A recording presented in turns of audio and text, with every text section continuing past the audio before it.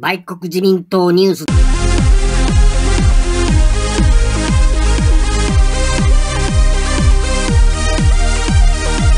7月2日。ああ、そうなんや。あ実際、一昨年ああいう形で、まあ、統一教会と関係を断つって言いながら、い、ま、だに元閣僚で、その事務所の中に統一教会の人がいるっていう状況も神奈川なんかでありますからね。ああ、そうなんや。実際一昨年ああいう形で、まあ、統一教会と関係を断つって言いながらいま、だに元閣僚でその事務所の中に統一教会の人がいるっていう状況も神奈川なんかでありますからね。あ